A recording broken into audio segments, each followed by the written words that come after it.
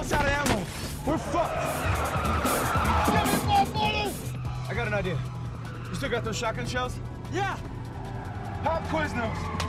What do you get? When lithium batteries react to potassium nitrate, that would be a covalent bond, brother. That's when two atoms, they share electrons. You see, they both need what the other one has. That makes them stick together. Are you saying we're covalent bonds? What? No. We're not atoms, dude.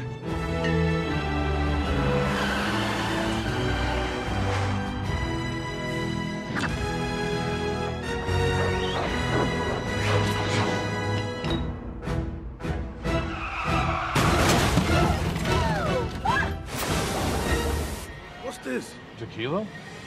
I don't know. It's, it was supposed to explode.